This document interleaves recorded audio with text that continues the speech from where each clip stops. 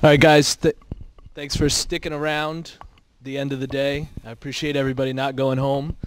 Um, we are the last group of the day. Save the best for last. Yeah, okay. Um, we are Jasmine and J- Jerome. I'm Jeremiah, and we are project is called J- J- J- Jewelry Box.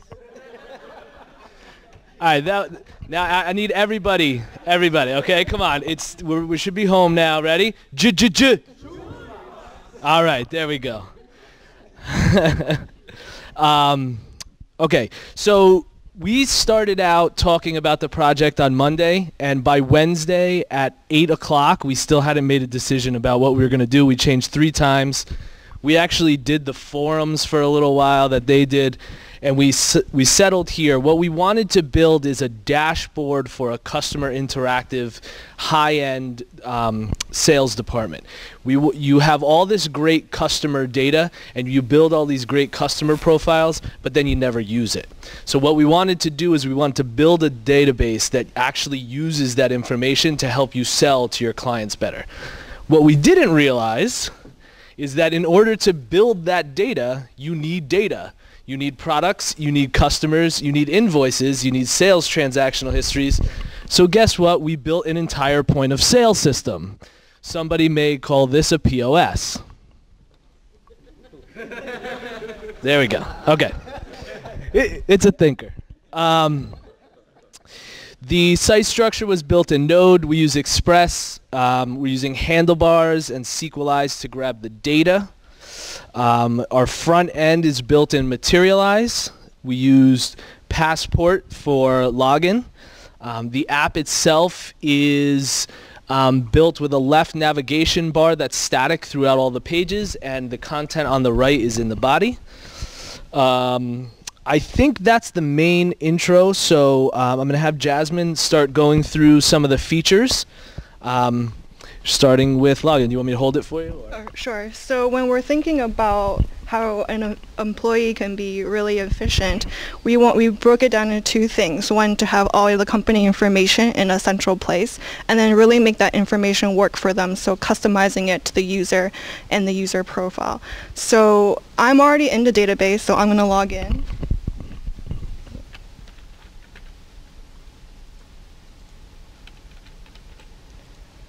So right away, I can see that the dashboard is pulling in data based on my login. On the sidebar here, we'll, we have navigation links to clients and then products and invoices. So later on, Jerome will talk about the dashboard and Jeremiah will go through the invoices. But right now, I'm going to go and give a brief walkthrough about client and product creation. So on the clients page, we have a basic list of, table list of all the clients we have right now in the database. Let's look at John Kennedy. And we see that his um, Jackie O is in his family. We have some basic information about his preferences. He likes rings, watches, Rolex. And the employee responsible for him is Jeremiah.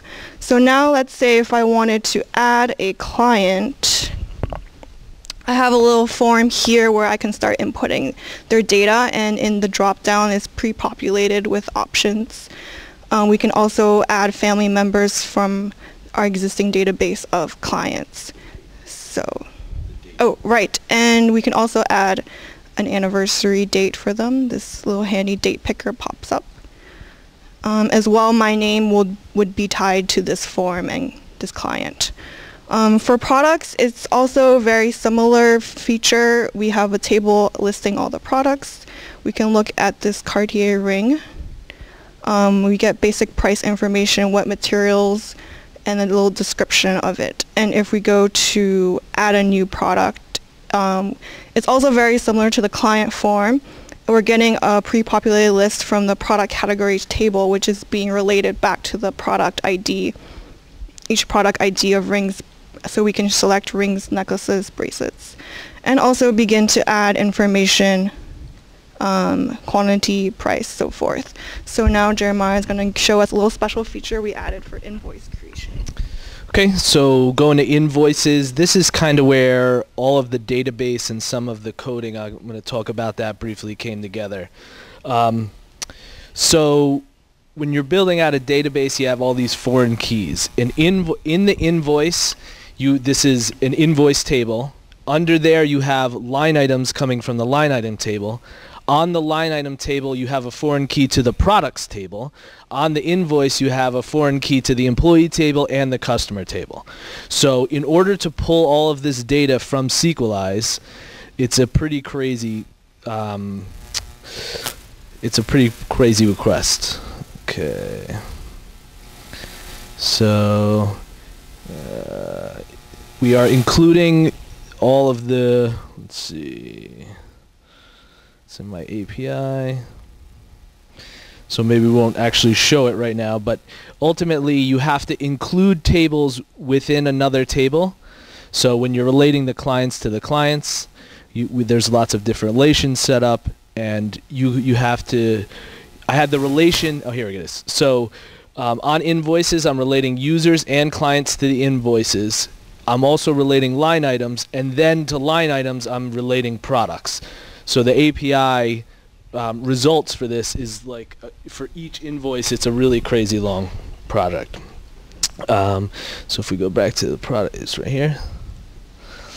Um, creating an invoice, when you create an invoice, um, you have the employee goes in there automatically. We have the customers show up dynamically. It's not a search because we only have a few customers for now. Something we'll add later.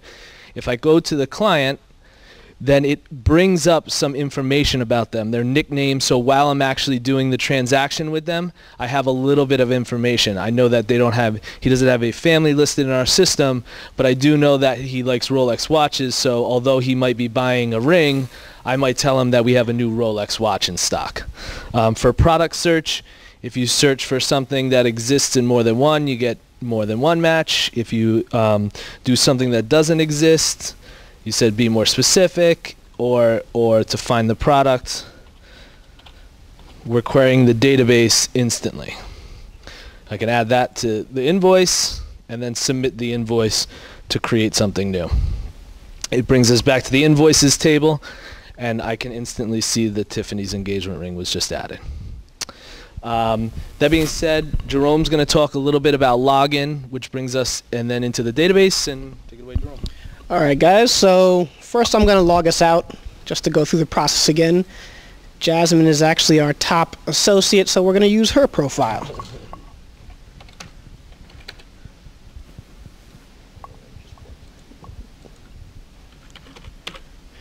Okay, and then, so we chose to use Passport, um, the local method, because you know unlike Facebook and uh, the login with GitHub, uh, we're actually querying our own database and matching up the username and password uh, submitted by the user on the front end here and matching it up with the uh, database information. If there is a match, then they're going to log us in. Um, so let's go ahead and log in there. And then you see here we have the uh, total sales, sales performance, uh, pending work orders, and the customer satisfaction. All this is queried from the database uh, and calculated on the back end. And then Passport uh, serializes and deserializes it and makes it available to use in handlebars on the front end. Um, we also have invoices here. Uh, again, just like those numbers before, it's um, calculated on the back end. It, what it's doing here is counting how many products in every tier is being uh, sold by the um, associate. So right now, Jasmine's very strong in luxury and high end, which is exactly what, uh, what you would want. If there was a, a, situation where the sales associate had a lot of low end or mid tier sales, then that's something they would want to look at and try to improve. Um, you also have tasks here, so as you complete tasks, you can check them off, add more tasks. And then below that, we have the clients. So Charles Bass, I don't know who that is really, but that's your client. Yes. And that's actually a good point to bring up that it's her client uh, because it's her user profile. On my user profile, you know, I might have Drake in uh, Jeremiah's. He could have, I don't know who your clients would be because I don't have access to your account. and that's the whole point. and then um, in the future, some functionality we would like to add is um, actually use these buttons. So say a sales associate had a headset on, if we could create some kind of functionality to just click the button and it automatically calls the client uh, straight from the dashboard, I think that would you know make things a lot easier. Um, also, an email, uh, we click that button and it pops up. You just write an email really quick for the client. Um, also, we wanted to add in uh, the a like promotion section.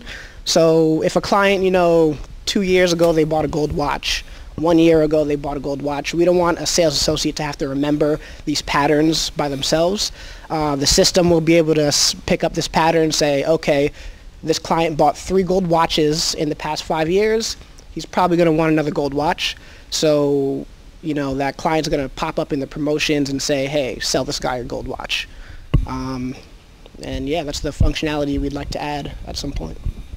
We built it to be mobile responsive to a tablet um, because in these high-end places, no one's standing in front of a computer clicking stuff. They're walking around. Everything you can click is very clickable and actionable right from the device. The list of additional features that we wanted to add is days long building a point of sale system like this. We originally had work orders. We originally had user profiles so that you can add user information. Um, but we kept all that off now because for us the most important part and the selling part of this was that it was um, it is the informational aspect on the front end. The, the, the, the dashboard is what sells this product. We did a lot of research on high-end point of sale systems and they they they talk about their database and all that type of stuff but you know these these are very superficial you know industries and it needs to look nice and it needs to have monetary value to the uh, to the project. Um, so I think that's it and one more time for the road. We are j j j. No no no no no no no no this is not over yet everybody j j j all right, there we go. Thank you.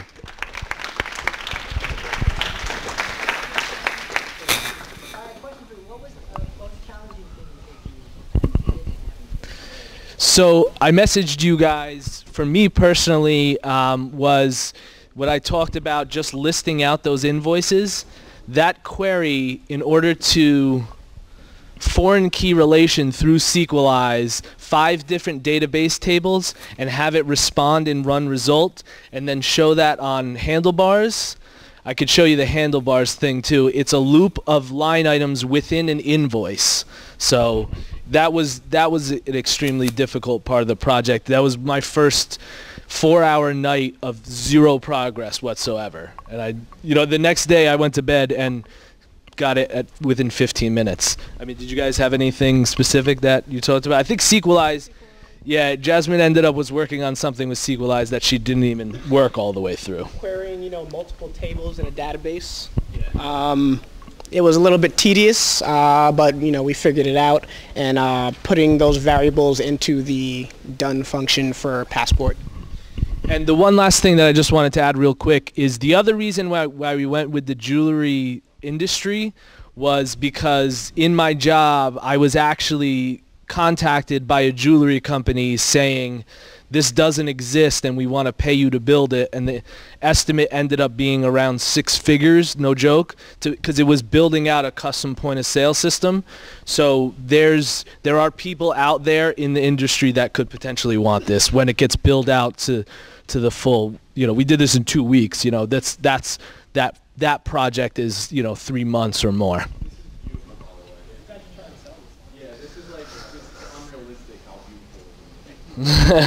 Thank you.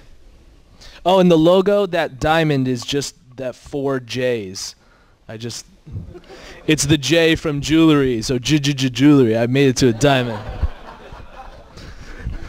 I if if Ahmed didn't have the earphones in his ear, I'd drop the mic, but. I'd be messed up. Now, one thing I was curious about, one client, can't, one sales rep can't see the other sales rep's clients? Yeah, exactly. Um, Well, you you can you can on the you can on the full clients page, but on the dashboard.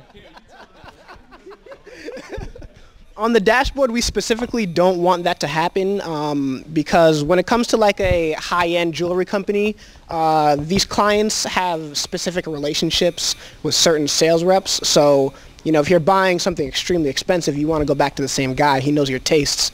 So that's why you only want to see your clients. You know, you don't want to be poaching your coworkers' clients. So we try to uh, divide it. But yeah, if you're out that day and somebody calls and asks for you, they can look at your information via the client search page. But on the dashboard, you just get yours.